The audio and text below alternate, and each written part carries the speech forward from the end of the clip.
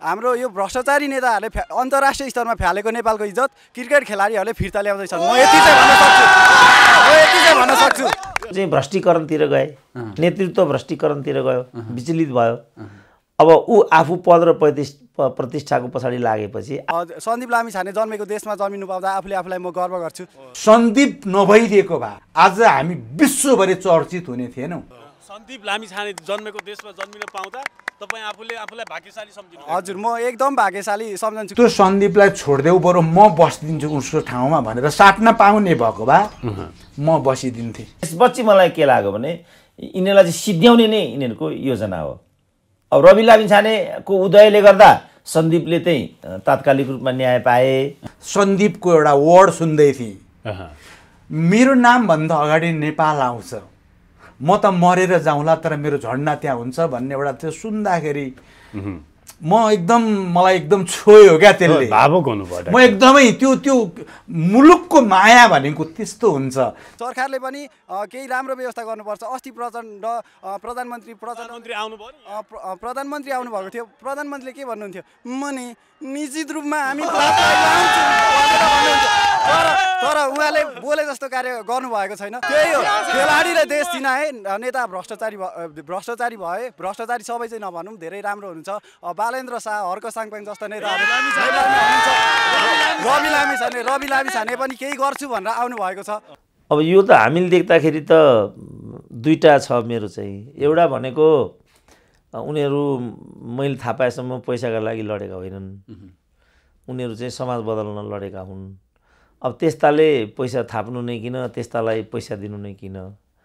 उनीहरूलाई त दिनै पर्ने हो ए रोजगारी दिनुपर्ने हो स्वास्थ्य दिनुपर्ने हो शिक्षा दिनुपर्ने हो। उनीहरूलाई दिनुपर्ने क्षेत्र चाहिँ यो हो। पहिलो कुरा चाहिँ म यो भन्न चाहन्छु। दोस्रो कुरा चाहिँ प्रचण्डले हामीहरू पैँतिस सात हजार हौँ। त्यो शक्तिखोरकै भिडियोमा भनिरहेछ। हामीहरू चाहिँ सात हजार हौँ। प्रतिक्रियावादीहरूलाई झुक्क्याएर पैँतिस हजार क्लेम गरियो र उन्नाइस हजारमा त कायमै गरिनेछ भन्ने चाहिँ खुल्लम खुल्ला उनको अभिव्यक्ति रेकर्डेड छ। अब उन्नाइस हजारले त हामीले मालपानी दिइसकेको छ। अनि अर्को यो चार हजार अयोग्य लडाकु भन्ने फेरि कहाँबाट आएको त्यस कारण कतैबाट पनि मिल्ने देखिँदैन। अब माओवादीहरूको चाहिँ बुझाइ के रहेछ भने हामीले लडेर यो सिस्टम ल्यायौँ हामीले ल्याएको सिस्टममा तिमीहरूले मोज गर्न पाएका छौ सबै कुरा गर्न पाएका छौ अनि हामीलाई दुई पैसा दिने बेलामा चाहिँ अयोग्यले कसरी पाउने भन्ने तिमीहरूको कसरी नैतिक हैसियत र अधिकार हुन्छ? भन्दा माओवादीको चाहिँ यो भनाइरहेछ अब तात्विक रूपमै उनीहरूको र हामीहरूको दृष्टिकोण भिन्नै देखेँ मैले। हामी माओवादीहरू मूल्यका लागि लडेका भन्न ठान्थ्यौँ उनीहरू त त्यसबाट मालपानी अथवा हैसियत आफ्नो पद प्रतिष्ठाको लागि लडेको भन्दा रहन् भनेपछि यो त दार्शनिक रूपमा नै बेग्ला बेग्ली कुरा भयो। हाम्रो बुझाइ एउटा छ उनीहरूको बुझाइ एउटा छ। यो बुझाइको बिचको अन्तर पनि यसको लागि समस्या छ। अन्तिम कुरा भनेको अब जस्तो सत्र हजारले बलिदान गरेर जुन परिवर्तन आयो र जसको लागि माओवादीले त्यो तत्कालीन जनसेनाहरूले चाहिँ बलिदानी गरे र जति बचेका रहे जति आर्मीमा अथवा समायोजन भएर पनि अयोग्य भएर बाँचे तिनले पैसाका लागि लडाइँ गरेका थिएनन्। होइन उनीहरूले पनि पैसाको लागि लडेका होइनन्। त्यो उनीहरूले खालको दिग्भ्रम गरेर गिरिजालाई हल्लाएर थर्काएर यिनीहरूको कायरता र निचतालाई अनि दुरुपयोग किन यिनीहरू त तुच्छ मान्छे भन्ने कुरा त प्रचण्डलाई राम्रोसँग थाहा थियो। र यिनीहरूलाई लडाएर भिडाएर खेलाएर पदको लागि यिनीहरू जे पनि गर्ने मान्छे हुन् भन्ने कुरा राम्रोसँग थाहा थियो। भनेको अहिलेका नेताले जसरी सत्ता पदको लागि पैसाको लागि जे गर्न थाले तत्कालीन अवस्थामा ती अयोग्य लडाकुले त्यस्तो चाहना राखेका होइनन्। परिवर्तनको चाहना राखेका थिए। होइन उनीहरू त माओवादी हुन् नि त। उनीहरूको त सैद्धान्तिकरण पैसाका लागि भएको छैन। उनीहरूको त समाज बदल्नका लागि भएको हो। त्यसलाई न जनयुद्ध भनियो। तलबै पैसै सुविधै खाने हो भने त कसै जनयुद्ध भयो त्यो त? धनयुद्ध थिएन त्यो त। त्यो त जनयुद्ध थियो। जनयुद्ध भनेको के हो त? जनताका लागि शासन स्थापित गर्ने लडाइँ नै जनयुद्ध हो। अनि अहिले जनताका लागि शासन छ त यहाँ। त्यसपछि उनीहरू चाहिँ भ्रष्टीकरणतिर गए। नेतृत्व भ्रष्टीकरणतिर गयो। विचलित भयो। अब ऊ आफू पद र प्रतिष्ठ प- प्रतिष्ठाको पछाडि लागेपछि आफ्नो कार्यकर्तालाई पनि दिग्भ्रमित गरेर अनि पैसाको लालीपपमा चटाइदिने र जनयुद्ध सिद्ध्याइदिने। खेल यो हो। अब हामी त दार्शनिक दृष्टिकोणले पनि यो ठाउँमा छैनौँ। उनीहरू चाहिँ समाज बदल्न लागेका हुन्। उनीहरूले न आजको व्यवस्थाको लागि लडेको हो। उनीहरूले त जनगणतन्त्र नेपालको लागि लडेको हो। सर्वहाराको राजसत्ताको लागि लडेको हो। त्यो पनि भएन। ती लडाकुले देखेको सपना पुरा भएन। अब तिनीहरूलाई त सपना देखाइयो उनीहरूले के सपना देखाएको थियो होला र बिचरा? उनीहरूलाई सपना देखाइएको थियो होला। ती सपनाको पुरा गर्न त तिनीहरू लागे। अब- दिनरात नभनी सडकमा सडक जङ्गलमा। हो किन त्यो सपना देखाइयो? तर यो चाहिँ यसको लागि रहेछ भन्ने कुरा। अहिले उनीहरूको हरकतले देखायो। अब यिनका कमान्डर नै उहाँ पान्तलले घर ठडाएर बसे। प्रचण्डकै अवस्था त्यो छ। बाबुरामले त माओवादीको सान्दर्भिक त्यही सिद्धि तिनीहरूले घर ठडाए लडाकुले के पाए भन्दा ल तिमीहरूलाई नि भनेर। लाख थमाइदिन खोजेका हुन्छ बस। अर्को यसमा तर्क छैन। किनभने प्रश्न उठाउने तिमीहरूले मात्रै गर्यो भनिरहने भयो नि त इतिहासले भन्ने भयो लडाकुले भन्ने भए अनि लडाकुहरूका आश्रित परिवारजनले भन् भन्ने भए छोराछोरीको अ, लाला बालाको चाहिँ त्यहाँ दुःख पीडा होला बेरोजगार अङ्गभङ्ग सबै कुरा भएको छ नि त। त त्यसलाई कसरी चाहिँ लिपापोती गर्ने भन्दा हरेकको गोजीमा दुई लाख हालिदिने। हाम्रो भनाइ चाहिँ के भने राज्यको ढुकुटीबाट कुनै एउटा पार्टीको कार्यकर्तालाई उनीहरू भन्छन् हामी लड्यौँ भिड्यौँ यसरी त्यसो भने यता पनि त लडे भिडे नि त। लडेनन् भिडेनन्। एमालेकै सात लाख कार्यकर्ता छन् भन्ने छ। काङ्ग्रेसकै दस लाख कार्यकर्ता छन्। तिनीहरू पनि त लडेका छन् नि त। विस्थापित भए कति? अनि भयो त्यहाँ पनि भएका छन्। अनि उनीहरू नि त। उनीहरूको चाहिँ सबैलाई पैसा दिनुपर्ने अनि यिनीहरूलाई चाहिँ। अब आठ हजारलाई सहिद भनेर राजपत्रमा चाहिँ घोषणा गराए। अनि लडाकु भनेर साढे चार हजारले त फुली सहितको चाहिँ दर्जा पाएका छन्। हिजो उन्नाइस अरब भन्ने कुरा छ। अनि यिनीहरूले चाहिँ उनीहरूले सबै माओवादीले मात्रै खानुपर्ने। कहीँबाट नि मिल्दैन नि त यो। यही नाममा नि अघिल्लो उसमा चाहिँ यो लडाकुका नाममा ठुलो घोटाला भयो भन्ने छ।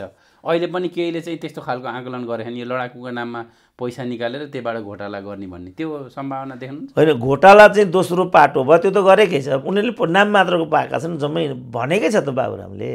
किन माओवादी छोडेको भन्दा क्यान्टोनमेन्टको उन्नाइस अरब एकलौटी प्रचण्डले गरेको हुनाले मैले माओवादी छोडेको भनेको छ। भनेकै छ त अनि। हामीले थप भन्नै पर्दैन। अहिले नि खेलोमेलो त्यस्तै हो। अहिले पनि अब त्यो त आशङ्काको भरमा त भन्न मिलेन। तर मान्छेले आशङ्का चाहिँ के गरेका छन् भने दुई दुई लाखको दरले दिने अयोग्य लडाकुलाई एक लाख मात्रै उनीहरूको हातमा पुर्याउने एक लाख फेरि माथिबाटै गोदिने यो खेल छ भन्छन्। तर त्यो त अब अनुमानको कुरा भयो अब त लेमेनले गर्ने रिमार्क भयो। त्यस्तो रिमार्क त हामीले त गर्नु हुँदैन। भोलि ठ्याक्कै जे घटना घट्छ त्यो तथ्यको आधारमा नै बोल्ने कुरा आयो। होइन अहिलेदेखि माओवादी तर अहिले। चाहिँ जुन अवस्था राज्यको छ त औ राजस्व उठ्न सकेको छैन। कर्मचारीलाई तलब खुवाउन मुस्किल भयो भन्ने अवस्था छ। यही अवस्थामा फेरि अयोग्य लडाकुका नाममा अर्बौँ पैसा छुट्याउनु लाग्यो सरकारले। अब त्यो त अब यत्र तत्र छ। अब सङ्घीयता नै हामीलाई महँगो भएको छ। सरकारको सङ्ख्या नै बढी भयो भन्ने छ। अब उनीहरू सरकार गठन विघटनभन्दा पतिर छँदै छैनन्। अब पाँच वर्षमा छवटा मुख्यमन्त्री गराउँछ प्रदेशले।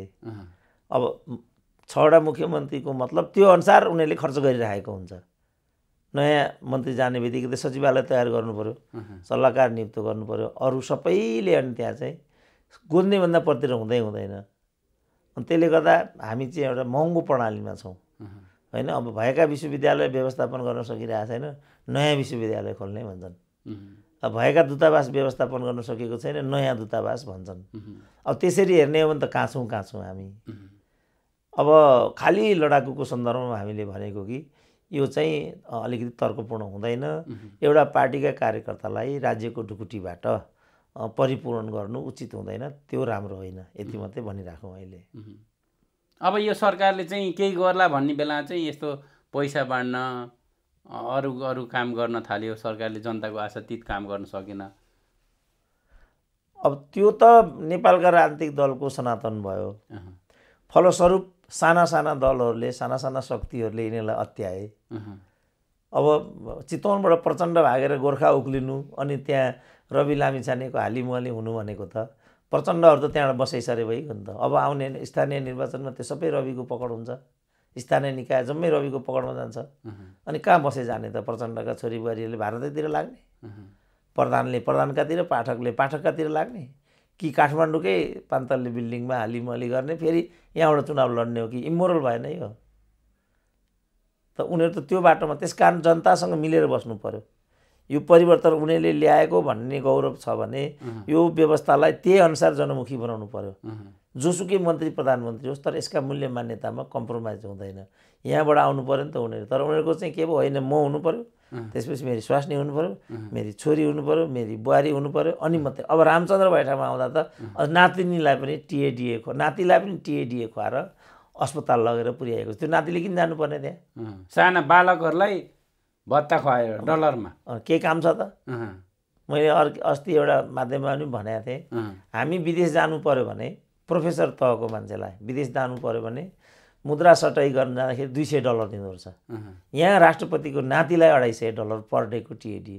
त्यो तपाईँले साट्न सटैमा चाहिँ दुई सय डलर दिने। त्यति मैले सटैमा त्यो। सटैमा। उनीहरूलाई त भत्ता हो नि। त्यही त भन्छु हामीलाई चाहिँ सटैमा दुई सय दिने। अनि उनीहरू चाहिँ भत्तै अढाई सय खाने। अनि यसलाई उनीहरू के भन्दा रहेछन् हामीले ल्याएको गणतन्त्र। यस्तो पनि गणतन्त्र यस्तै गणतन्त्र चाहिएको हो नेपाली जनतालाई। यो त चाहिएकै होइन नि हामीलाई। यो लडाकुको हकमा पनि त्यही हो। हामीले बुझेसम्म लडाकुले समाज बदल्नको लागि त्याग बलिदान गरेका हुन्। देश र जनताको लागि। दुई लाखको लागि होइन? दुई लाखको लागि त होइन उनीहरूले लडेको त। हाम्रो बुझाइ यो भयो तर उनीहरू त खानको लागि जन्मेका खाइ खाइदेऊ पर्छन् यिनीहरू त। यो मधेसवादीले पनि यही गरे। जनजातिहरूले पनि यही गरे। फलस्वरूप पहिचानको मुद्दा पनि ओझेल पर्यो। अब अहिले जसले पहिचानमा बोल्न सिकायो तिनीहरूले नै लाजेयाङको ज्यान लिने काम गरे। किन यिनीहरू चाहिँ खानको सबै जनजाति जनजाति खानको पछि लाग्यो। मधेसी मधेसी खानको पछाडि लाग्यो। माओवादी माओवादी खानको पछाडि लाग्यो। अब यिनीहरू खानको लागि त लोकतन्त्र ल्याएका होइनन् होला भन्ने हाम्रो बुझाइ थियो।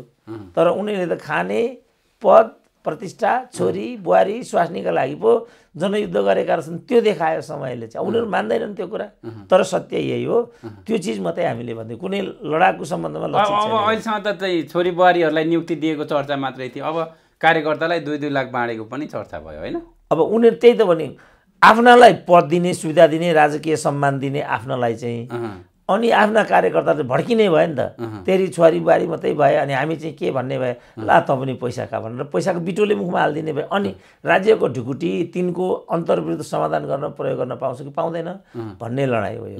भनेको माओवादीभित्रको अन्तर्विरोध प्रचण्डमाथि उठेका प्रश्नको जवाब पैसाले मुख बुझो लाउन खोजेका होइन माओवादीभित्रको अन्तर्विरोध भन्ने कुरा अर्कै भयो तर माओवादीभित्र पनि खान पाउने र नपाउने छन् नि त। त्यसले गर्दा त त्यहाँ असहज स्थिति स्वभावत बन्छ। अहँ, तपाईँले यही एउटा अन्तर्वार्ता लिँदा पनि तपाईँलाई नै अनुभव छ नि किन फल्नालाई मात्रै भन्ने कुरा हुन्छ होइन? अब आँखा त मान्छेको लागिरहेको हुन्छ नि। भने चाहिँ त्यहाँभित्र पनि किन रेणुलाई मात्रै पटक पटक किन बिनालाई मात्रै पटक पटक किन प्रचण्डको ज्वाइँ नै किन छोरी नै भन्ने प्रश्न त त्यहाँभित्र छ। त्यो प्रश्नलाई चाहिँ दाब्नको लागि यिनीहरूलाई यो अचार चटाइदिएको। दुई लाखले त के हुँदैन जम्मालाई थाहा छ। त्यस कारण उनीहरूलाई हामीले दुई लाख होइन क्यारियर देऊ न। अहँ। गरी खाने बाटो बनाइदियो। गरी खाने एउटा बाटो बनाइदेऊ न। त्यो भयो भने राज्यलाई पनि प्रतिफल पाउँछ। राज्यले राजस्व पाउँछ। जस्तो एउटा फ्याक्ट्री खोल बोर्डरको सिमानाको सीमा रक्षकमा राख। इत्यादि गर। त्यसले त दुई लाख त दस महिना तलब काम गरेर कमाउँछन्। त्यसपछि लाइफ टाइम हुन्छ फेरि। त्यसपछि अब यो दुई लाखमा कहाँ एक लाख उनीहरूले लेबीमा तिर्नु परिहाल्यो नि त। उनीहरूको गोजीमा त एक मात्रै पुग्छ भन्ने छ। अनि एकले के हुन्छ त? आयो आज पैसा आएको दुई। लाखमा एक लाख पार्टीलाई लेबी। अब कहाँ पार्टीलाई लेबी जान्छ कि त्यो व्यवस्थापकले चाहिँ गोज्छ थाहा छैन नि त यहाँ। यहाँ त अनेक किसिमको हुन्छ। त्यस कारण हामीले के भनेको भने क्यासमा होइन राज्य ठिक छ। जस्तो राजनीतिक पीडितहरूलाई त यिनीहरूले पनि दिएको छ हिजो। अब यही बिचमा यिनीहरूले दुई दुई लाख बाँडे म महावीर चाहिँ मैले केही गर्छु देशका लागि म काम गर्न खोजेको सरकारले बजेट छुट्याएन भने रातभरि सडक कहाँ सुतेर बसे। यो यो देशको वैज्ञानिक। अब वैज्ञानिकलाई कसरी व्यवस्थापन गर्ने भन्ने यो विधिको प्रश्न हो फेरि। अब बजेट त्यता छुट्टिएन। यो आविष्कारतिर देशको उसमा बजेट छुट्टिएन तर लडाकुलाई बजेट छुट्टियो भन्ने खालको एउटा चर्चा छ। अब त्यो त्यो पक्का कुरा हो। तर अब उनीहरूले पनि कुन विधिद्वारा चाहिँ रकम विनियोजित गराउने भन्नेमा राज्यले सोच्ने कुरा भयो त्यो। उनीहरूले खालि नीतिगत रूपमा मात्रै मैले देखेसम्म हस्तक्षेप गर्ने कुरा हो। रिसर्चका नाममा यस्तो पैसा अलिक बढाऊ बजेट बढाऊ भनेर दबाब दिए। सिद्धान्त त त्यो गलत छैन। सिद्धान्त त त्यो सही नै छ। महावीरको पुन एजेन्डा ठिक छ? सिद्धान्त त एउटा वैज्ञानिक अनुसन्धान अनि मुलुकलाई यान्त्रिकरण लैजाने कुरा अनि शोध अनुसन्धान गर्ने कुरा सिद्धान्त त गलत छैन। तर यहाँ के भयो भने यही नाममा सबैले त्यत्रो जनयुद्ध त पैसामा गएर टुङ्ग्यो भने अब यो साधारण अब एउटा संस्था चलाएर हिँड्ने मान्छेमा त भर गर्ने त अवस्था के हुन्थ्यो र? केही पनि हुँदैन। त्यस कारण उनीहरूलाई सिद्धान्त त मलाई केही भन्नु छैन। त्यो ठिक कुरा हो। विज्ञानको चाहिँ विज्ञानले प्रवर्धित हुनुपर्छ वैज्ञानिकहरूले प्रोत्साहन पाउनुपर्छ। मुलुक चाहिँ आधुनिकीकरण र वैज्ञानिकीकरणमा जानुपर्छ भन्नेमा मेरो केही पनि गुनासो छैन। तर यो तलबाट थाल्ने कि नीति निर्माताले सोच्ने भन्नेमा मेरो अलिकति पृथक राय हुन्छ। उपयुक्त समयमा त्यसलाई चाहिँ विमर्शमा लान पनि सकिन्छ। भनेको त्यो महावीरले रातभरि सुतेर आन्दोलन गरेको माग चाहिँ ठिक हो। सरकारले कुनै न कुनै हिसाबले सम्बोधन गर्नु पर्थ्यो त्यसलाई। होइन त्यो स्टार्टअप बिजनेसहरूलाई त्यो भन्दा पनि गर्छु भन्नेहरूलाई त्यो भन्दा पनि के गर्छु भन्नेले त कहाँ यहाँ प्रवर्धित हुन पाएका छन् र होल हिस्ट्रीमा जस्तो गेहेन्द्र शमशेरले चाहिँ सबभन्दा पहिला नेपालमा स्वचालित बन्दुक चाहिँ आविष्कार गरे। त्यति बेलाका नेपाली पहिलो वैज्ञानिक। पहिलो पहि- पहिलो वैज्ञानिक। त्यसपछि त्यति बेला चाहिँ कुन चाहिँ यो चन्द्र शमशेरै हो क्या र। यो चाहिँ मलाई मार्न आयो भन्ने अत्तो थापेर उसलाई नै डाँडा कटाइदिए। प्राज्ञहरूको यही स्थिति छ। अनुसन्धाताको यही स्थिति छ। अब मैले नै भनौँ न कम्युनिजममा कत्रो अनुसन्धान गरेँ त। सरकारले चाहिँ यत्रो कम्युनिस्ट दुई तिहाईको सरकार बन्यो। अहिले नै त्यत्र चाहिँ लडाकाहरू सरकारमा छन्। ओहो तपाईँले त कम्युनिजममा यत्रो गहिरो अध्ययन गर्नुभएको छ पिएचडी गर्नुभएको छ यस्तो गर्नुभएको छ। ल तपाईँहरू जस्ता मान्छेले प्रज्ञा प्रतिष्ठानमा जानुपर्ने त्यहाँ बसेर तपाईँहरूले अध्ययन अनुसन्धान गर्नुपर्ने भनेर हाम्रो अनुसन्धानलाई राज्यले ओन गरिरहेको स्थिति त छैन। कम्युनिस्ट रिसर्च सेन्टर बनाइदिए तपाईँलाई होइन त्यो त बनाइदिए पनि हुन्थ्यो। होइन त्यो अलिकति पार्टीभित्र गर्ने कुरा हो हामीले त्यतातिर भनेर। राज्यकै बनाइदिने। अब त्यो त अब त्यो अब अनेक नाममा के के खोले होइन अलरेडी प्रज्ञा प्रतिष्ठान छ मदन भण्डारी प्रतिष्ठान छ कम्युनिस्ट अध्ययन केन्द्र नै चाहिँदैन नि। पुष्पलाल प्रतिष्ठान छ। अनि त्यहाँ लगेर चाहिँ हाम्रो अनुसन्धानलाई कहिले यिनीहरूले उच्च प्राथमिक त्यो त मोलतोल गर्ने पद हत्याउने के केन्द्र भएको छ त्यो। पुष्पलाल प्रतिष्ठान भन्यो अनि त्यसको जो कारिन्दो हुन्छ मन्त्री हुने भनेको त्यही हो। अर्को कुनै हालतमा हुँदैन त्यहाँ। विरोध कतिवटा चारचोटिसम्म जित्दा पनि मन्त्री भएन नि कारण त्यो थियो नि त। अहिले पछि तिमीलाई मन्त्री बनाइएन भनेर उत्तेजित बनाएर पार्टी फुटाइदिए माकुनेले। उनलाई मन्त्री नबनाउने त माकुने आफै हुन् नि। अब अहिले विरोध कतिवटाहरू कहाँ गए कहाँ गए? रामकुमारी झाँक्रीको त्यो अवस्था भयो। छ महिने मन्त्रीमा जिन्दगी बर्बाद भयो अब के काम छ तिनीहरूको अब? चुनावमा गयो चुनावमा जित्दैनन्। समाजले समाजले प्रतिष्ठा दिँदैन। समानुपातिक भयो भने उनीहरूले आफ्नो छोरी बुहारी स्वास्नी त्यहाँ हुल्छन् त्यस कारण वरियता राखिदियो भने त जम्मैले पाइन्छ नि त। त राजाहरूले त्यत्रो प्रज्ञा प्रतिष्ठान खोले होइन? त त्यो भनेको यो देशमा वैज्ञानिकलाई गेहेन्द्र शमशेरदेखि नै वैज्ञानिक। अध्ययतालाई यो देशमा। ठाउँ छैन। कहिल्यै पनि राज्यले नयाँ नयाँ नवीनतम अन्वेषण र अध्ययनलाई कहिले पनि प्रोत्साहन त्यति मात्रै भएन। काजी भीमल्ल चाहिँ अनि देश कमाएर तिब्बतमा गएर सात दिनसम्म युद्ध लडेर देश कमाएर आए। यहाँ जो काठमाडौँमा दरबारको वरिपरि बसिरहेको थिए। सरकार यसले त हजुरको विरुद्धमा षड्यन्त्र गरिरहेको छ। यसले त हजुरको भन्दा ठुलो यसले नाम कीर्ति कमायो त्यहाँ भनेर चाहिँ राजाको कान भरिदिए। राजालाई दर्शन गर्न यस्तो यस्तो गरेँ सरकार भनेर राजालाई दर्शन गर्न गएको बाटैमा गिडिदिए। यो त गेन्द्र शमशेर कसैले पनि रा देशको लागि त्यसैले भीम सम भीम मल्लकी श्रीमतीले सती जाने बेलामा यो देशमा जसले राम्रो काम गर्छ त्यसको कहिले पनि कल्याण नहोस् भने सतीको श्राप भनेको त्यही हो। यो त त्यस्तो देश हो। अनि कहाँ महावीर पुनहरूले चाहिँ प्रोत्साहन पाउँछन् त? पाउँदैनन् नि। यहाँ त राम्रो काम गर्यो कि गइहालिन्छ? मैले अन्त पनि भने जस्तो कुलमान घिसिङ। कुलमान घिसिङले लोड सेडिङ मुक्त गरेर केही नराम्रो काम त गरेका थिएन नि त तर कुन हालत भयो त कुलमानको? यहाँ कसैले पनि राम्रो छ हाम्रो कुटनीतिक पर कसैले राम्रो देशको चाहिँ स्वीकृति गाथा फैलाओस् विदेशमा। कसैले राम्रो चाहिँ राम्रो खेतीबारी नै गरोस्। राम्रो उत्पादन गरेर अहिले एउटा मोटरसाइकल यहाँ दर्तै गर्न दिएन। दिँदै उता सोध्नुपर्छ नि त। मालिकलाई सोध्न। सोध उता नसोधी हुँदैन। जस्तो कोटेश्वरको बाटो छ लेन बनाउनु पऱ्यो भने उता स्वीकृति लिनुपर्छ। अनि यो कोदारी राजमार्गलाई मेन्टेन गर्नु पऱ्यो पिच गर्नु पऱ्यो भने पनि उता सोध्नुपर्छ। त्यस कारण तरकारी यहाँ बिच्छै छैन भनेर नि उता सोध्न। उता नसोधी हुँदै हुँदैन। यहाँ चेक गर्न नि पाएन। पाइँदैन पाइँदैन। जस्तो प्रचण्डले इन्डिया भ्रमण गर्नु चाइना भ्रमण गर्नु पऱ्यो भने उतै सोध्नुपर्छ। हामी भ्रमण गरौँ कि नगरौँ भन्नुपर्छ। जाओ एक बार भ्रमण करके आओ क्या कहता है? उधर के लोग कम्युनिस्ट लोग क्या करता है? सब रिपोर्टिङ गरौँ जाओ। भन्यो भने मात्रै यिनीहरू जान्छन् जान पाउँदैन यिनीहरू। त्यही कारण अहिले भ्रमण भएन नि चाइनाको। कारण चाहिँ। त्यति बेर उनी गएको थिएँ। मैले पहिलो चिनको कम्युनिस्ट कन्ट्रीको भ्रमण गरेँ भनेको थिएँ। तँलाई ठिक गरिदिन्छु भन्ने बित्तिकै एयरपोर्टमै यो सांस्कृतिक भ्रमण हो राजनीतिक भ्रमण म यता गर्छु भने। यस्तो हुन्छ।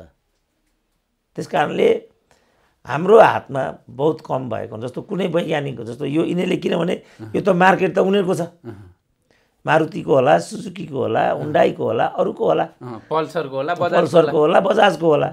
अब त्यसको विकल्प खडा गर्छ नि त्यसले अनि त्यो गर्न दिन्छ नि त त्यस कारण दिँदै दिँदैन। भनेको उताको पैसा खाएर अथवा उताको आदेश ल्याएर यहाँ उत्पादन हुनलाई यहाँ नेपालमा केही गर्छु भन्नेलाई रोक्न सरकार नै लाग्छ। सरकार त त्यसको इन्स्ट्रुमेन्टै हो नि। जस्तो यही भनौँ तपाईँ महाकाली नदी होइन? महाकाली सन्धि गरे अप्पर कर्णाली गरे अरुण तिन गरे अरुण तिनको विरुद्धमा कत्रो अभियान चाला चाले त यहाँका इन्काल इन्काल अठैतलाई उनीहरूले चाहिँ प्रयोगमा ल्याएको हुन्छ। अरुण तिनले पर्यावरण बिग्रिन्छ यस्तो हुन्छ उस्तो हुन्छ भने आखिरी चाहिँ त्यहाँ सतलज कम्पनी पुर्या पुर्याउने योजना थियो पुर्याइदिए कुरो सिद्धियो माल पानी खानेहरू यहाँ लाग्छन्। कुरो सिद्धियो अब अप्पर कर्णाली अप्पर कर्णाली चाहिँ त्यो कहिल्यै हुने होइन। त्यहाँ त्यो किनभने संसारकै सबभन्दा चाहिँ सस्तो प्रोजेक्ट भन्ने छ त्यो। त्यो क्याप चाहिँ जिएमआर कम्पनीले क्याप्चर गर्यो। अहिले पन्ध्र वर्ष भइसक्यो त्यो कहिले पनि एक्सनमा आएको छैन। महाकाली यस बढ्नै नदिने। अब महाकाली सन्धि भएको कति वर्ष भयो भन्नुहोस् त ल। अट्ठाइस वर्ष जति भयो होला। त्यो कहिले पनि एक्सनमा जाँदैन। होल्ड गर्ने राख्ने। होल्ड गर्ने राख्ने अर्कोलाई आउनु नदिने पानी त गइरहन्छ।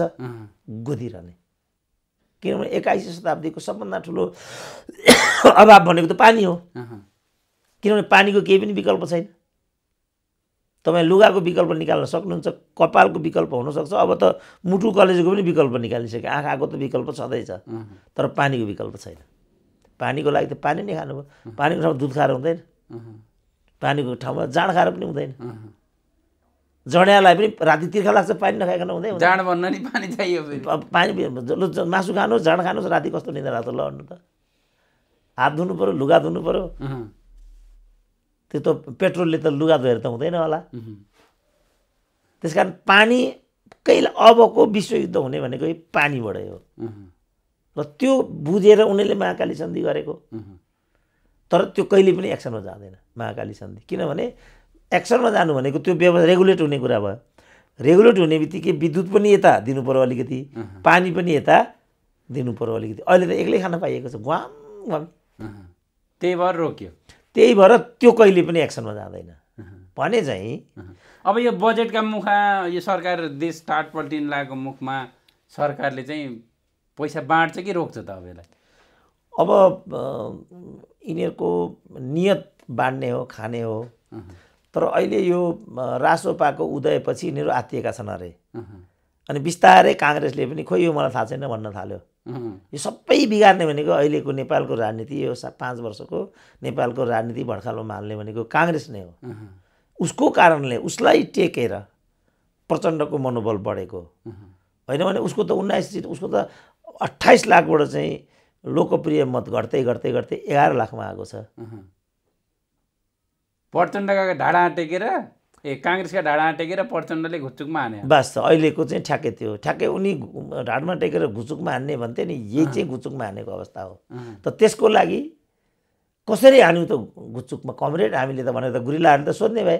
गुरिल्लाले पनि पायो नि त अयगोले पनि पायो नि त दुई लाख। हिजो प्रतिक्रियावादीको आँखामा छारो हालेर उन्तिस हजार क्लेम गरियो पैँतिस हजार क्लेम गरियो उन्नाइस हजार ल्याइयो मालगो दिइहालियो अझ चार हजार भनेपछि त फेरि गोद्ने गोद्ने हो प्रतिक्रियावादीको भण्डार। सिद्ध्याउने हो र यिनीहरूलाई टाढ पल्टाइदिने हो अनि यो संसदीय व्यवस्थाले काम गर्दैन भन्ने कुरा यो बाटोबाट पनि देखाइदिने हो। खेल त यो हो।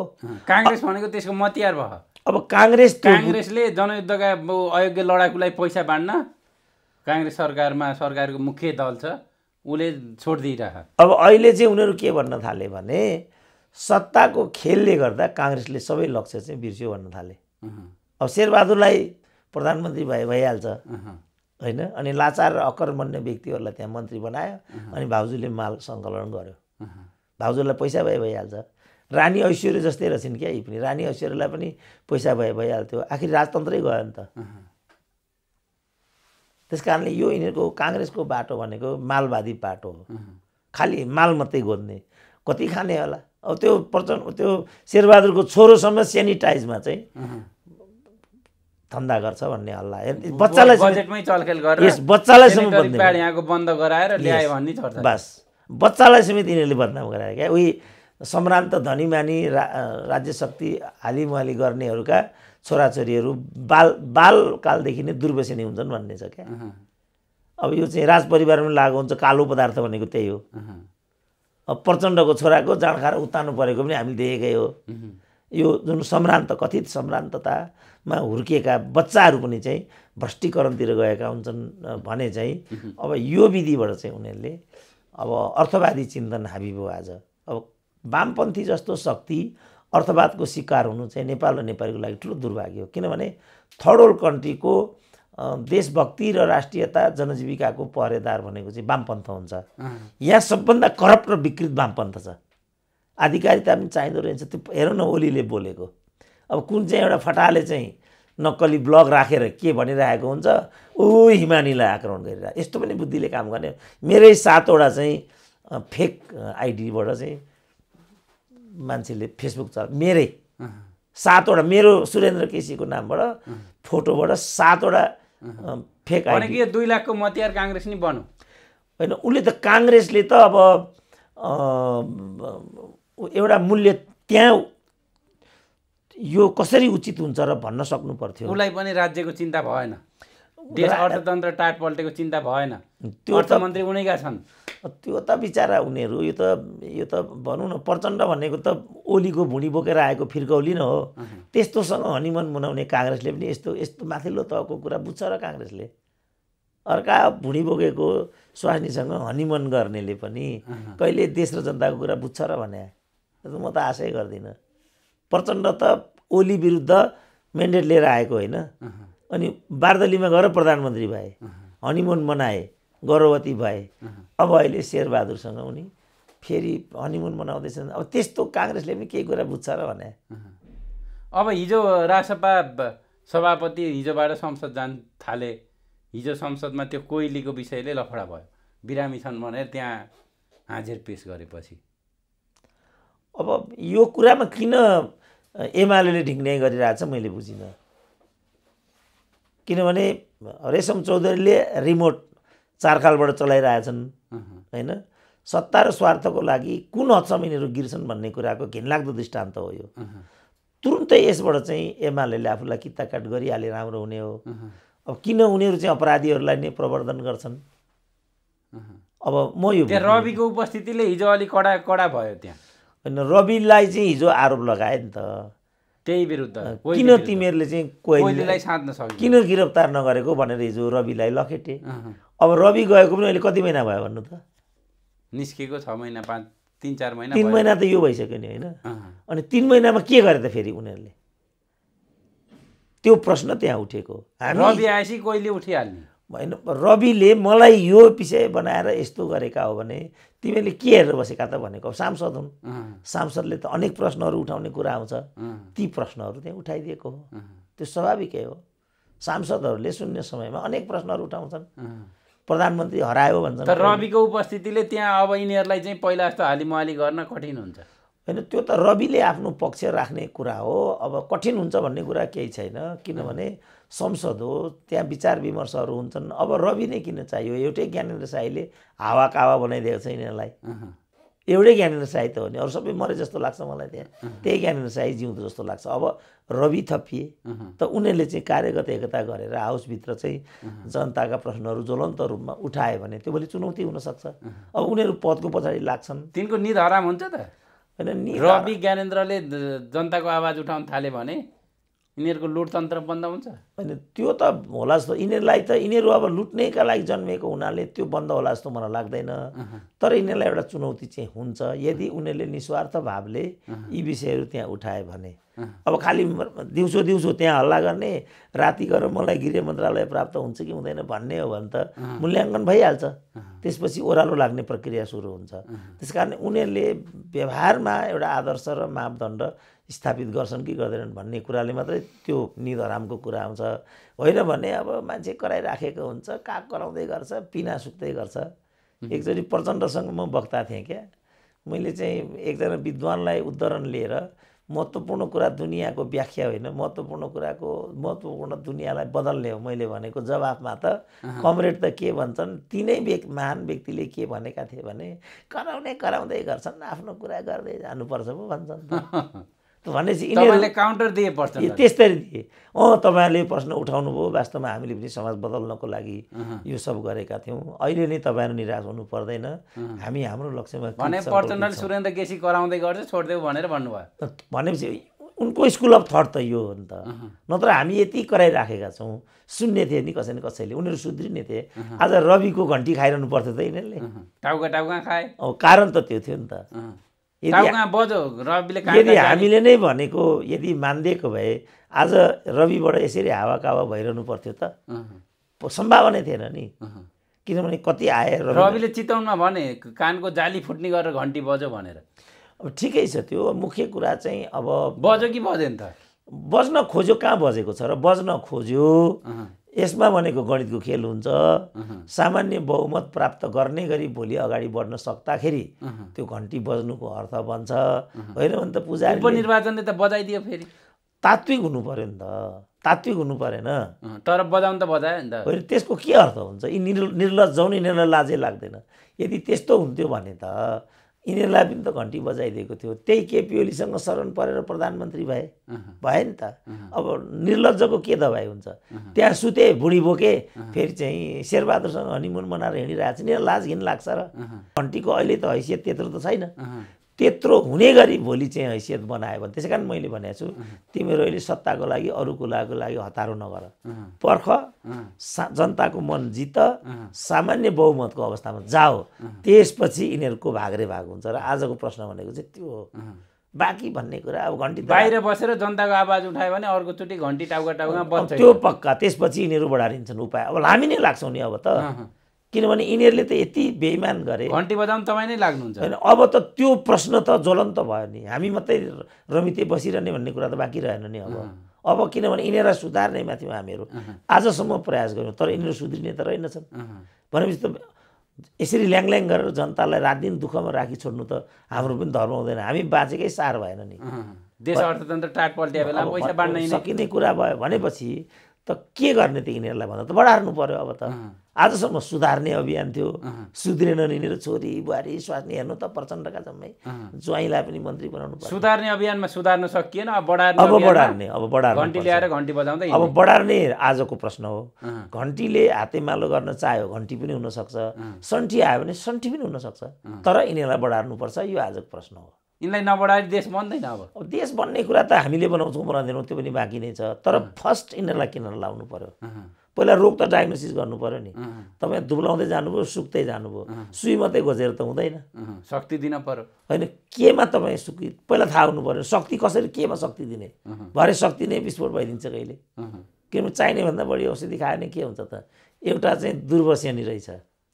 यो उपचार केन्द्रमा बस्यो बस्यो बस्यो तिन वर्षमा सुधार गिरे सु- सुधार गृहमा सुध्रिएर तिन वर्ष बसेर सुध्रिएर आयो।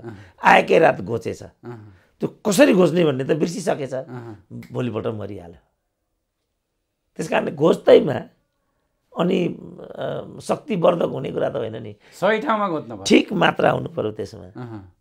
त्यस कारणले पहिला डायग्नोसिस गर्नु पऱ्यो समस्या के हो? अहिले के निष्कर्षमा हामी पुग्नु पर्ने भयो भने यो नेतृत्व नै हाम्रो अविकास र गरिबी व्यथिति र कुशासनको कारण हो। यो प्रष्ट भयो। अहिलेको। अहिलेको नेतृत्व नै यो सबै समस्याको जड हो। प्रष्ट भयो। तब त्यतिले त काफी हुँदैन। जस्तो अस्ति निर्वाचनमा नो नट एगेन भन्थे अनि तिनीहरू नै एगेन भए त फेरि। किनभने हामी तात्विक अङ्क पाएनौँ नि हामीले। रविले पनि नो नट अगेन भनेर तलाट जितेर आए। माथि तिनै ती गरेर ल्याप्चे ठोकिदिए। भने तात्विक भएन नि त। त्यस कारण मैले त्यही बेला भने साथीहरू सबभन्दा पहिला हाम्रो बिचमा एकता बनाउँ न एकताबद्ध भएर हामी चाहिँ उम्मेदवार लिएर जाउँ। यिनीहरूको बाह्र बजिहाल्छ नि भन्दा उनीहरूको बिचमै प्रतिस्पर्धा भयो।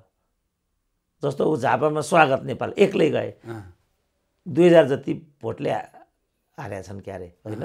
अब यी रमेश खरेल अब बालकृष्ण नेउपाने अब आपस्तमै लडे नि त। अब भएन। पुकार क्षेत्रमा गएको आफू मिलेर गरे भइगयो नि त।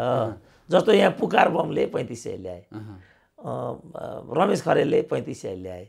बालकृष्णले पैँतिस सय ल्याए। रविन्द्र मिश्र रविन्द्र मिश्रले एक अब सात सय अठाइस ल्याए अर्कोले सात सय दुई दुई सात हजार दुई सय ल्याइदिए जिते अहँ। मैले त्यो पहिल्यै भनेको थिएँ यति यति यति हुन्छ। प्रकाश मानले जित्छन् त्यही भयो। अब अहिले अब यहाँ हुँदा पनि अब रवि लामिछाने चाहिँ बिस्नु छ। अब त्यो बिसलाई मोलतोल गरेर मानिलिउँ चारजना मन्त्री भए। मानिलिउँ उनीहरूले भने जस्तो मन्त्रालय पनि पाए। त्यसपछि त क्रमशः जनताको नजरबाट त किन कसैले कसैलाई यहाँ केही काम गर्न दिँदैन जस्तो अब भन्नु अहिले अब नेताहरू नि लखट्न थाले। काहीँ मन्त्री लखटे काहीँ पूर्व प्रधानमन्त्री लखटे। जनताले अहिले संसदमा एमाले त्यही आवाज उठाए हिजो दाङतिर मन्त्री लखटेको। भिडियोहरू सार्वजनिक भएको छ। होइन त्यो त अराजकता हो त्यसबाट त समस्याको समाधान होला जस्तो लाग्दैन मलाई। त्यो जनतामा फेरि नेताहरूप्रतिको वितृष्णा त्यो पनि प्रकट हो? वितृष्णा प्रकट भयो पोखे त्यसबाट जस्तो पानी माथिबाट आयो। त्यो पानीलाई चाहिँ नियन्त्रित गरेर ड्याम बनाएर अनि मेसिनमा प्रवाहित गऱ्यो भने न बल्ल विद्युत उत्पादन हुन्छ। अनि जथाभावी त्यो पानी आयो भने कहाँ के हुन्छ त? त्यही पानीलाई व्यवस्थित गर्नुभयो भने यतातिर लानुहुन्छ। नहर गर्नुहुन्छ सिँचाइ गर्नुहुन्छ यतातिर लानुहुन्छ पिउने पानी गर्नुहुन्छ उतातिर लैजानुहुन्छ हाइड्रो गर्नुहुन्छ त्यही पानीलाई। अनि त्यही पानी असरल भयो भने के हुन्छ त? जनता भनेको पनि त्यही हो राजनीति भनेको पनि त्यही हो। त्यसलाई व्यवस्थित नियन्त्रित र सक्षम नेतृत्वको पकडबाट तपाईँले प्रभावित गराइदिनु भयो भने त्यहाँबाट विद्युत पैदा हुन्छ। अब विद्युत पैदा भयो भने त यहाँ कति विद्युतको करामत हो नि यो। मोबाइल विद्युतबाटै छ घडी विद्युतबाट चल्छ सारा ऊ त्यो यो विषय सारा त्यो क्यामेरा यो सबै केबाट चलाएको छ त यो। आखिरी पानीको करामत हो नि त यो। तपाईँले देख्नु भएको छैन यहाँ पानी छैन छ भनेर। कहाँ छ त पानी? पानी त बागमतीमा छ। अनि त्यसलाई त्रिशुलीमा चाहिँ इकट्ठा गरिन्छ। अनि त्यसलाई चाहिँ हाइड्रोको टर्माइल लगाएर चाहिँ विद्युत उत्पादन गरिन्छ। अब अपरेसन त्यहीँबाट हुन्छ। दुनियाँ उज्यालो त्यसैले दुनियाँ। उज्यालो त्यहीँबाट हुन्छ। समृद्धि त्यहीँबाट आउँछ। अब अहिले हेर्नु त संसारमा कहीँ पनि अब तपाईँ कहाँ हुनुहुन्छ? अमेरिकामा बसेर चाहिँ थाहा पाउँछ तब म कहाँ छु? अहिले हरेक कुरा। भनेको जनताहरूमा आक्रोश भएर नेताहरू लखट्न थालेका हुन् कि के हो त यो अनि त्यो त उनीहरूको मनमा एक किसिमको प्रतिक्रिया होला प्रायोजित होला केही होला राजनीतिक होला अब जस्तो यही ओलीकै भनौँ न स्वयं समाजवादी र माओवादी लागेर यो गरेको हो भनिरहेछ आफै सत्तामा छ। आफै चाहिँ आफ्नो अङ्गलाई लखेट्ने कुटपिट गर्ने त्यो कुनै बहादुरी हो। त्यो त अराजकता भयो नि त। त्यसको केही पनि अर्थ हुँदैन। त्यसबाट केही पनि उल्टो प्रचण्डले ओलीले भने आतङ्ककारी हुन् भन्थे उल्टो। अब उनीहरूका मुद्दा त अझ टाढा जान्छन्। किनभने यो त अब प्रतिनिधित्व प्रणालीमा हामी गयौँ संवैधानिक प्रणालीमा गयौँ। संवैधानिक प्रणालीमा गएपछि नाइन्टी पर्सेन्टको बहुमतबाट चाहिँ यो राज्यको नामाकरण भएको छ। त्यहाँ पो प्रश्न गर्नुपर्छ यो हुँदैन भन्नु पऱ्यो नि त उनीहरूले। अब अहिले पारित भइसक्यो। अब पारित भइसकेपछि त कि म राज्य नै टुटाउँछु भन्नु पऱ्यो त्यो भयो भने अर्कै कुरा हो। कि आम विद्रोह गर्न सक्नु पऱ्यो अब त्यो नगर्दासम्म त केपी ओलीलाई कालो झन्डा देखाउँदैमा ढुङ्गामुढा गर्दैमा पहिचानको राज्य पाइन्छ त्यो विधिबाट राज्यको नामाकरण हुन्छ। ल भयो अरे कोसी अनि अरू छवटा। कसैले पनि माने कोही पनि यो प्रदेशको नामाकरणसँग कोही पनि सहमत छैन। किन यो हजुवामा गरिएको छ? हिजै चाहिँ त्यत्रो कोसीको ठाउँमा लिम्बुवान भयो भने अर्कोले नि फेरि। लिम्बुवान भयो खमुवान मान्दैन नि त फेरि कोचेले मान्दैन मेचेले मान्दैन। मधेसीहरू त्यहीँ छन्। थारूहरू त्यहीँ छन्। सुनसरीमा थारू छैनन्। त्यसमा फेरि प्रचण्डले उचाल्ने भन्ने एमालेको आरोप छ। अब त्यो होला होइन हो अघि मैले भने अब आफै सरकारमा बस्ने अनि आफै चाहिँ पूर्व ढुङ्गामुढा गर्दै। जाने भने त्यो त अराजकता भयो नि त्यो त के त्यसबाट केही समाधान आउँदैन। यसबाट पहिचानको सम्भावना अझ टाढा हुन्छ फेरि। त्यस कारण के गर्नु पर्यो भन्दाखेरि कि आम विद्रोह गर्न सक्नु पर्यो कि सही प्रतिनिधित्व पठाउन सक्नु पर्यो। अब प्रतिनिधिहरूले कोशी प्रदेश नामाकरण गर्ने अनि तल जनताले ट्याउ ट्याउ कराएर हुन्छ र भने त्यो त हुँदै हुँदैन नि। जस्तो उदाहरणको लागि झापाबाट चाहिँ पहिचानवादी साथीहरू मलाई भेट्न आएका थिए। त्यसमध्ये एकजना चाहिँ केपी ओलीको विरुद्धमा चुनाव लडेका रहेछन् अस्ति। मत कति पाए त भन्दा दुई सय चालिस। अब दुई सय चालिस मतले पहिचान पाइन्छ। त्यस कारण त्यो इन्द्र आम आङ्बो भन्ने पूर्व मन्त्री पनि रहेछन् नि माओवादीका त्यहाँ। तिनले ठिकै भनेको छ। मतदान गर्ने बेलामा पहिचान विरोधीलाई। अनि पहिचान कसरी हुन्छ त भनेको छ उनले। यदि पहिचान को पक्षमा नामाङ्कन चाहेको हो भने पहिचान पक्षधरलाई मतदान गर्नु परेन। मतदान गर्ने पहिचान विरोधीलाई। अनि नाम चाहिँ पहिचान पक्षधर चाहना राखेर पाइन्छ र भने।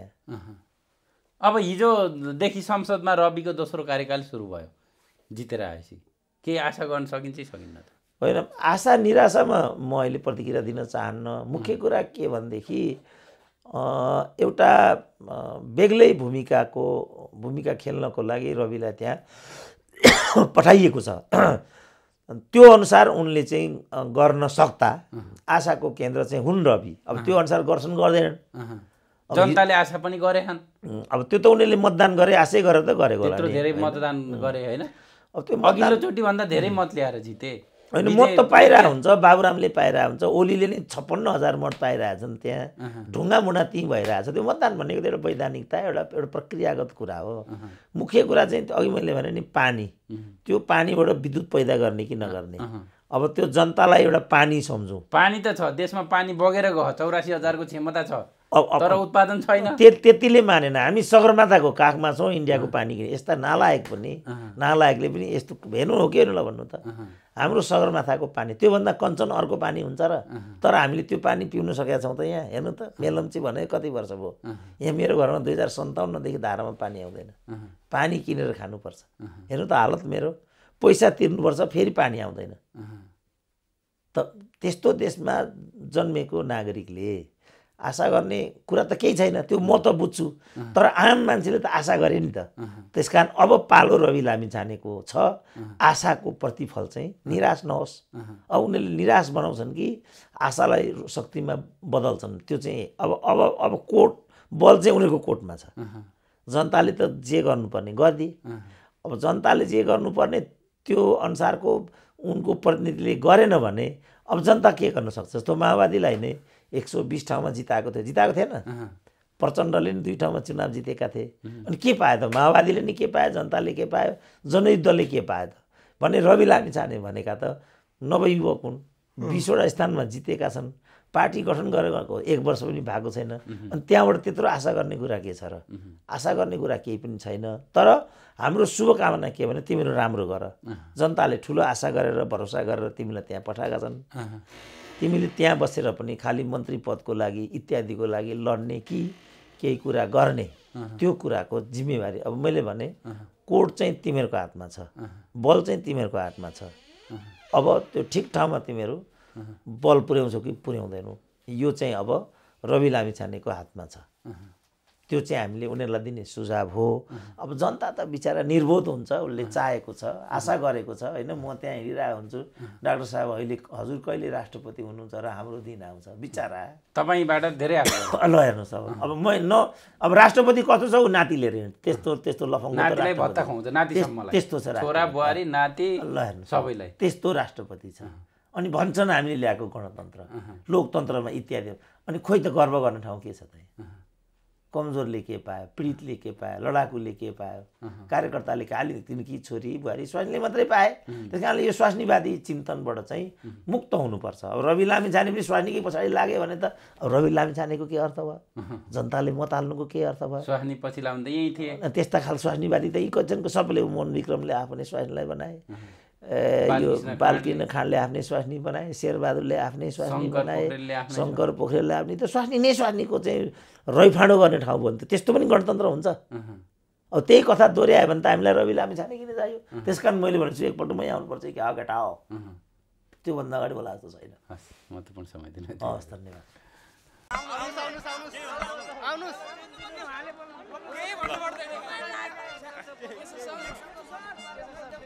वेलकम छ यहाँलाई थ्याङ्क यू सुनाम हजुरको श्रेया छेत्री क्रिकेट कति दिनदेखि हेर्दै हुनुहुन्छ यहाँ यहाँ चाहिँ आउन थालेको चाहिँ तिन दिन के अरे तिन दिन भयो अनि पहिला चाहिँ म पोखरामा थिएँ हजुर त्यही हो क्रिकेट हेर्न पोखरादेखि आउनु भएको हजुर यति कसको खेल मन पर्छ अँ, मलाई त हिजोदेखि नै ललितकै मन पर्यो अनि एउटा कुरा भन्छु है मतलब म मलाई थाहा छैन तर म चाहिँ उसको लागि लक्की जस्तो फिल हुन्छ किनकि ठ्याक्कै म हिजो आएको थिएँ अनि उसले ब्याक टु ब्याक दुइटा विकेट लियो कि? अनि अनि फेरि अनि फेरि आज पनि मतलब ठ्याक्कै म आउन तसै विकेट लियो कि? मतलब त्यही हो।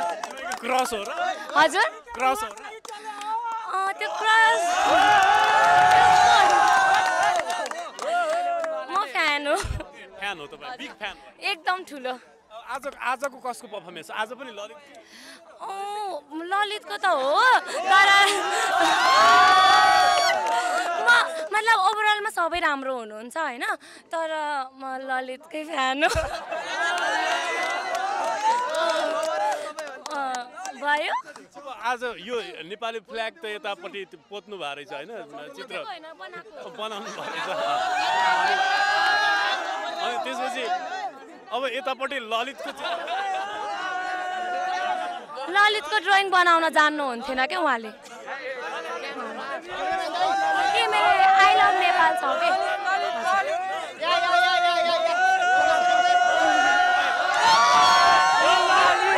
उहाँ नाच्दाखेरि thank you thank you thank you single shirt हानु ल यहाँहरू सबैलाई वेलकम छ है ल। अब तपाईँहरूको जुत्ता सबै हिलो भएछ। हेर्नुहोस् त यो जुत्ता। जुत्ता हिलो हेर्नुहोस् त दर्शकबिन। यो जुत्ता हिलो हुनुको राज के हो त आखिर? पानी आएर हिलो भएको अथवा के भयो अरे? हजुर यो हामी चाहिँ यो जब जब गेम हेरेर हामीले भ्याइयो नि अन्तिममा यो फोहोर जति पनि छ नि हामीले फोहोर उठाएर फोहोर जति एकै ठाउँमा सबैले एकजनाले गर्दा भ्याइन्न अब यहाँ हजारौँ मान्छेहरू हुनुहुन्छ फ्यानहरू क्रिकेट लभहरू हुनुहुन्छ। उहाँहरूको कारणले गर्दा एकजनाले सुरु गर्दैन हामीले सुरु गर्दैन सबजनाले फोहोर उठाएर यो फोहोरको कारणले हो यसलाई हामीले खासै अब हिलो भयो भनेर हामी खासै उ छैन।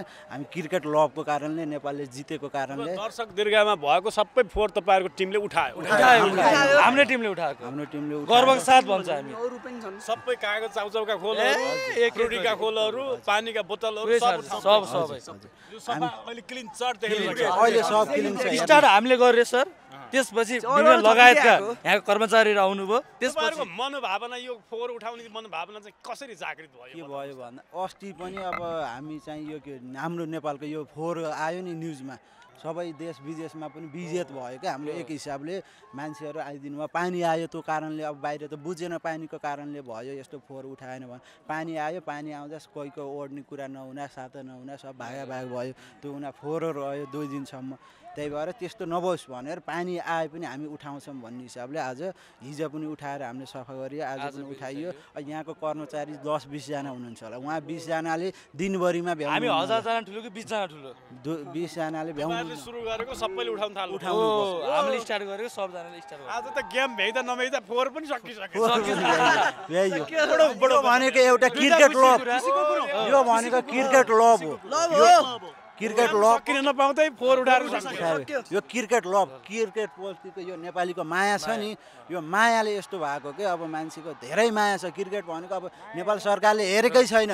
एउटा स्टेडियम पनि बनाउने केही गरेको छैन। यो लाइटको कुरो पनि गरेको थियो। अब यो कहिले कहिले अब एक दुई वर्ष ल्याउँछ होला। क्रिकेट फ्यानहरूको जनताको क्रिकेट प्रति बेग र लभ पर्यो छ। जनताको धेरै लभ छ अहिले। नेपालमा क्रिकेट भनेपछि नबुझ्ने नब्बे वर्षको बुवाले पनि क्रिकेट भनेपछि लभ छ क्या नेपाल भन्नुहुन्छ क्या क्रिकेट भन्दा नेपाल भन्नुहुन्छ। सन्दीप भन्दा नेपाल भन्नुहुन्छ। त्यो छ क्या क्रिकेट सन्दीपको यो ऊ छ नि। अब आज नेपालले युएलाई जसरी हरायो नि तपाईँले यसलाई चाहिँ छोटो शब्दावलीमा भन्नुपर्दा के भन्नुहुन्छ? आकर्षक छैन अब नेपाल युए भनेको धेरै नेपालसित टक्कर दिइरहने टिम हो। अहिलेपछि पनि नेपाल चाहिँ युएसित जहिले पनि युएसित गएर युएसित फाइनल सेमी फाइनलमा युएसित बाहिरिनु पर्ने यो अहिले चाहिँ नेपालमा भएको यो अब मानव खेलाडीहरू, विश्वकप छनौटको लागि पनि नेपालले जित्यो त्यसमा धेरै खुसी लाग्यो नेपालीले चान्स पायो कि गर्छ। चान्स पायो कि गर्छ? त्यस्तै चाहिँ अहिले पनि चान्स पायो। आफ्नै देशमा क्रिकेटको फ्यान होम गराउन्। साथसाथै स्टेडियम त लगनले पनि जितेको फ्यान यस्तो छ कि हिलो छ यहाँ बस्ने ठाउँ छैन। उभिएर पनि चौबिस घन्टा बसेर पनि हेर्न तयार छ फ्यान नेपाली फ्यान। नेपाल क्रिकेटको लागि नेपाली फ्यान चौबिस घन्टा दिन रात नभनिकन हेर्न तयार छ। किन यस्तो एका बिहान आउनु भएको बताउनुहोस्। भिडभाड हुन्छ त्यही त आनन्दले हेर्न पाइन्छ। माया। केही होला कि तल माथि हामीले खेलाडीहरूलाई के गर्लान् कि? यहाँ त धेरै छन् नि भित्रभित्र। धेरै सडेन। अँ साहित्य बुझ्नुपर्छ फेरि। हो चार बजे आउँदा कोही रहेछ कि कोही गाडमा त बिचार एउटा गाड बाहिर टुक्रुको बसिरहनु भएको थियो। बाबु किन आयो बिचारो भन्नुभयो। त्यही त हो माया छ ममता छ देशको लागि। चार बजीकै आउनु पऱ्यो? बाह्र बजी आइदिन्छु भोलि भल त। हस् थ्याङ्क यू भयो। यसलाई वेलकम छ थ्याङ्क यू थ्याङ्क यू नमस्ते यहाँ सुनाम मेरो प्रियङ्का सिग्देल। कहाँदेखि आउनुभएको? म यहाँ काठमाडौँबाटै हो। हजुर। अनि कति दिन भयो क्रिकेट हेर्न आउनु? होइन पहिला चाहिँ मोबाइलमा हेरेको थिएँ आज चाहिँ म लाइभ नै हेर्न टिकट फ्री भनेर त होइन। मलाई थाहा थिएन टिकट फ्री भन्ने थाहा थिएन मलाई। आउँदा त टिकट फ्री थियो नि आउँदा त म फ्रीमै आएँ। कस्तो कस्तो एक्सपिरियन्स बटुल्नु भयो त तपाईँ? एकदमै रमाइलो। रमाइलो लाग्यो। अनि क्राउड उस्ती एकदम क्राउड क्रिकेटलाई नजिकबाट बुझ्नुहुन्छ? त्यस्तो धेरै नजिकबाट त बुझ्दिनँ। त्यति त थाहा त्यति त थाहा थाहा हुन्छ। होइन म स्पेसल्ली फुटबलको चाहिँ फ्यान हो क्रिकेटको चाहिँ होइन कि। तर अहिले चाहिँ अब नेपालले यस्तो भइसकेपछि त तपाईँ पनि स्वाभाविक एक्ज्याक्टली अनि छक्का चाहिँ कसरी हुन्छ? यो उडेर आयो भने छक्का हुन्छ उडेर आए छक्का हुन्छ त्यति त थाहा छ। गुडेर आयो भने हुन्छ। ए त्यस्तो होइन। अनि आज चाहिँ तपाईँ गुलसन झाको ब्याटिङ कस्तो? राम्रो लाग्यो। हजुर हजुर। हजुर हजुर। ए, हस्। सर यहाँलाई स्वागत छ नमस्कार। धन्यवाद। मेरो नाम लोकमणि शर्मा। अब आज क्रिकेटमा नेपालले चमत्कारिक जित हासिल गर्यो है। एकदमै राम्रो एकदमै राम्रो जित हासिल गरेको छ। यससँगै हामीले अब एसिया कपमा युएलाई धुल चटायो। धुल चटायो। एकदमै खुसी लागिरहेछ। सबभन्दा अझ हाम्रो गुलसन झा। गुलसन झा अनि अझ भीम सार्की त कुरै छोडिदिउँ। उहाँ त अब एकदम खम्बा जसरी भएर आज खेल्नुपर्ने नै त्यसरी नै थियो। एकदम आज एकदम उत्कृष्ट। खुसी हुनुहुन्छ? ए एकदमै हरेक गेम नेपाल हुने रोहित शर्मा रोहित पौडेल बाबर अब त नेपाल इन्डिया पाकिस्तान अब हेर्न हेर्नै चाहना धेरै ठुलो थियो धेरै ठुलो राखिएको थियो। कम्तीमा भए पनि त्यहाँसम्म पुर्यायो केटाहरूले साह्रै खुसी लागिरहेछ। युएलाई त नेपालले धुल चटायो आज होइन? इन्डियालाई के इन्डियालाई हामीले सकेसम्म राम्रो खेल्ने हो किनभने हामीले त्यो राष्ट्रसँग खेल्न पाउनु हाम्रो लागि धेरै ठुलो सौभाग्यको कुरा हो। किनभने यस्तो राम्रो अहिले चाहिँ हाम्रो सबै पक्षहरू राम्रो बलियो भएर आएको छ। जसरी मुन्टे देसाई मुन्टी देसाईले हामीलाई प्रशिक्षण गरेर जसरी यो स्थितिमा पुर्याउनु भयो आज यस्तो प्रेसरमा हुँदाखेरि पनि सुरुवाती ओभरमा तिनवटा विकेट जाँदा पनि जसरी हाम्रो इनिङ सम्हाल्यो यसले चाहिँ एउटा मेच्युरिटी चाहिँ नेपाली टिममा आयो भन्ने मलाई लाग्छ। अब यसले चाहिँ केही हदसम्म अलिक कम्पिटेटिभ गेम चाहिँ खेल्नुपर्छ भन्ने हो। जिते त अब सुनमा सुगन्ध नै भइहाल्यो। त्यस्तो। भीम सार्कीले पनि निकै क्लासिकल खेले हजुर। एकदमै। मलाई त भीम सार्कीको जमानादेखिको फ्यान। आएदेखिकै उसको फिल्डिङ अनि त्यसपछि ब्याटिङमा जुन तरिकाले पहिला अब शरद विश्वागरको झलको आयो आज मलाई चाहिँ है। शरद विश्वागर जसरी इनि- इनिङलाई सम्हाल्थे आज चाहिँ खेल्नुपर्ने त्यस्तै थियो। एउ एकातिरबाट इनिङ सम्हाल्नु भने एक दुई रन लिएर नि जित्नुपर्ने खेल थियो क्या जसरी यस्तो तिन विकेट जाँदाखेरि एकचोटि मान्छे पुरै हतोत्साहित भइसकेको यति तनावमा थियौँ हामी। तनाव भएको थियो तर विश्वास थियो। जसरी गुलसन झालाई हामीलाई जसरी अगाडि ल्याएर खेलाउनु आज एकदमै राम्रो। अहिले लक्की चाम पनि मान्न सकिन्छ गुलसन झालाई। जसरी चाहिँ हाम्रो अगाडि हाने नि कडा अर्ध शतक भन्दा पनि मलाई त्यो टिकेर त्यतिसम्म खेल्नु मलाई त्यही दामी लाग्छ क्या अर्ध शतक भने त तल त्यो स्कोर विश्व क्रिकेट मानचित्रमा नेपाली टिमलाई चिन्नु पर्दा एकदेखि दससम्मका खेलाडीहरू हरेक अब्बल छन्। अलिकति मलाई चित्त बुझ्यो नबुझेको भने कुशल बुर्तेल। राम्रो जुन खेलमा खेल्नुपर्ने हो त्यो खेलमा अहिलेसम्म पर्फर्म भएको छैन। एउटा खेल्ने पाँच छवटाको लागि उ गर्ने भइरहेछ। त्यो अलि उहाँले सुधार्नु भयो भने नेपाली टिममा अरू ठिकै छ राम्रै छ। एकदम खुसी लाग्यो। एघारसम्मका कुन चल्छ बब्बाल छ। हरेक हरेक फ्याक्टर चाहिँ दामी छ अहिले नेपालको। र यो टिमले कम्पिटिसन दामी दिन सक्छ। एसिया कपमा जाओस्। अब स्टार स्पोर्ट्स कुनमा आउँछ त्यसमा हेर्नु। थ्याङ्क यू थ्याङ्क यू धन्यवाद।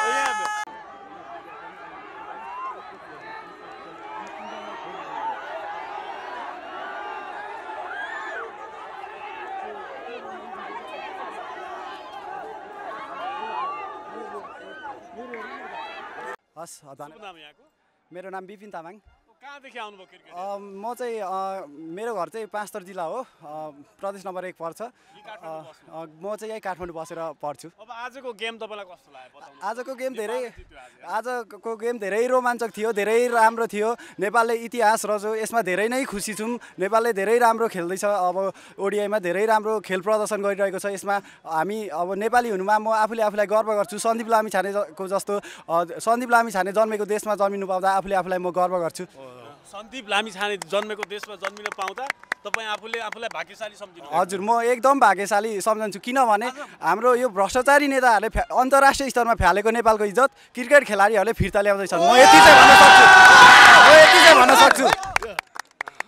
धेरै नै खुसी लाग्छ। अब नेपाल पहिलोचोटि एसिया कपमा छनौट भएर एसिया कप खेल्ने मौका पाएको छ। भारत पाकिस्तान जस्तो क्रिकेटको राजा जस्तो देशहरूसँग खेल्न पाएकोमा धेरै खुसी छु। धेरै नै यो एसिया कप नेपालले जित्छ? यसै ठ्याक्कै जित्छ जित्छ नै चाहिँ भन्न सक्दिनँ। जित्छ नै चाहिँ भन्न सक्दिनँ। नेपाल अब हार्न जानेको छैन। हार्न हार्न जानेको छैन। म पछाडि फर्केर हेर्दैनौ। तर म एसिया कप जित्छ चाहिँ भन्न सक्दिनँ। तर पनि नेपालले एसिया कपमा केही न केही छाप चाहिँ छोडेर आउँछ भन्ने म यति चाहिँ भन्न सक्छु। नेपाललाई। हामी नेपाललाई नेपाललाई चिनाउँछौँ। नेपाललाई नेपाललाई नेपाली खेलाडीहरूले संसारमा चिनाउने छन्। नेपाली खेलाडीहरू धेरै अहिलेको यङ यङ खेलाडीहरू हुनुहुन्छ सबैजना। धेरै राम्रो खेल्नुहुन्छ धेरै राम्रो लाग्छ।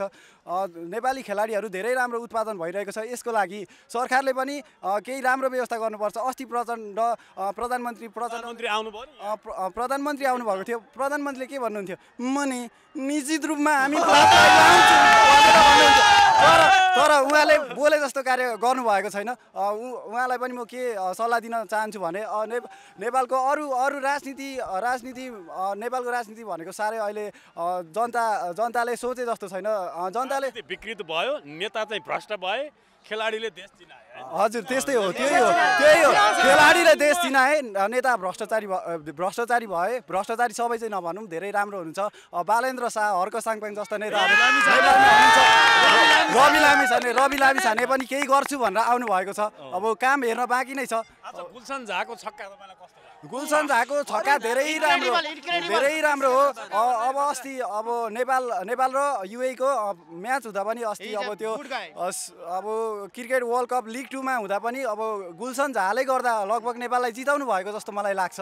अ, अहिले पनि आज आज युएलाई धुल चटाएर छक्का हान्ने मध्ये गुलसन झा अग्रस्थान। हजुर अग्र स्थानमा एकदम एकदम धेरै राम्रो। गुलसन झा एकदम राम्रो खेलाडी हो। गुलसन झाको आक्रामक ब्याटिङले युए आत्तिको अवस्था त हामीले देख्यौँ। युए धेरै आतिएको अवस्था देखियो धेरै गुलसन झा गुलसन झाले। अब ठ्याक्क एकदम प्रेसरमा आयो चाहिने बेलामा गुलसन झा बलरहरू प्रेसर युए युए सुरुदेखि प्रेसरमा थियो हो। सुरुमा अर्ली थ्री थ्री विकेट गइसकेपछि नेपालले कमब्याक गर्यो त्यसपछि युए लगातार प्रेसरमा आएको देखिन्छ। त्यही हो। अफगानिस्तान र कुनै समय नेपाल सँगसँगै खेल्ने राष्ट्रहरू एसोसिएट हामीले हराएको पनि हो। हामीले हराएको पनि हो। अहिले अफगानिस्तान धेरै अगाडि पनि पुगिसक्यो। अब नेपाल पनि आउँदैछ। अब हामीले एसिया अब हामीले एसिया कपमा यो म्यासेज दिनु जरुरी छ कि टेस्ट नेसनलाई हामी चाहिँ एसोसिएट कन्ट्रीको टप टिम हो। हामी अब छिटै चाहिँ टेस्ट नेसनको डिजर्भ गर्छ भने हामीले त्यो म्यासेज दिनुपर्छ।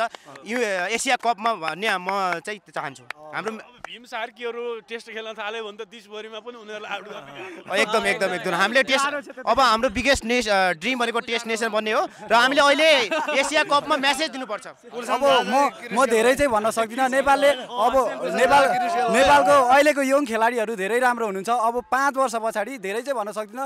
टप टेनभित्र अब ओडिआई ऱ्याङ्किङमा टप टेनभित्र चाहिँ नेपाल पर्छ जस्तो मलाई विश्वास छ कन्फिडेन्स छ। वर्षमा टप टेनभित्र यस यस पर्छ पर्छ। उमा लिगहरू पनि खेल्न पाइयो हुन्थ्यो अरू खेलाडीहरू। एकदम एकदम। सन्दीप लामी छानेर राखेको मन्टी देसाईको बारेमा के छ त?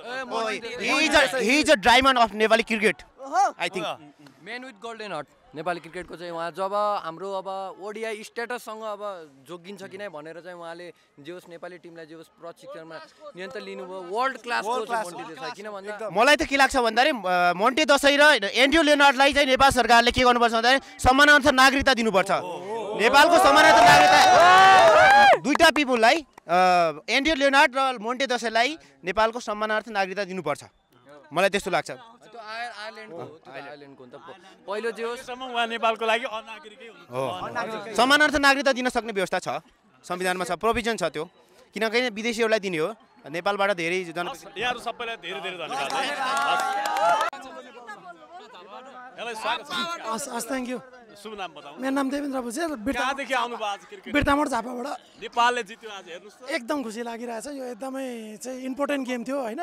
हामीले अब पहिला भएको थियो अरे एक्सा कपमा क्वालिफाई तर त्यो गेम हुन पाएन अरे जस यसपालि चाहिँ भयो त्यही हो हाम्रो शुभकामना यसपालि पनि इन्डिया र पाकिस्तानको अलिक त्यस्तै भइरहेछ हजुर हजुर हजुर हजुर हजुर हजुर त्यो नहोस् त्यो नहोस् नि हामीले त्यतै चाहिरहेछौँ हुनु पर्यो विराट कोहली विराट कोहली विराट कोहली हाम्रो ब्याट्सम्यानहरूले विराट कोहलीहरूसँग रोहित शर्मा रोहित शर्मासँग होइन बाबर बाबर आजमहरूसँग खेल्न पाओस् होइन। त्यो एक्सपिरियन्स चाहिँ अझै फ्युचरमा चाहिँ अब आउने नेक्स्ट जेनेरेसनले अझै राम्रोसँग खेल्न पाओस्। त्यो चाहिँ हाम्रो लागि इम्पोर्टेन्ट कुरा हो। तपाईँ चाहिँ विराट कोहली विराट कोहली बाबर आजम रोहित शर्माहरूको विकेट नेपाली खेलाडी चड्काएको अहिले अहिले त जुन अहिले जुन हाम्रो अहिले मोमेन्टम छ होइन? यो मोमेन्ट यो मोमेन्ट जुन अहिले मोमेन्ट चलिरहेछ होइन? यो मोमेन्ट इन्डिया पाकिस्तान मात्रै होइन कुनै संसारको कुनै टिममा पनि सक्दैन ल। तपाईँले तपाईँले के लाग्छ? जित्छ नेपाल जित्छ फिक्स हो जित्ने हो। जित्छ, ढुक्क, ढुक्कले जित्छ ढुक्क, ढुक्कले ढुक्क। जित्छ रङ्ग हराउँछ हराउँछ ढुक्क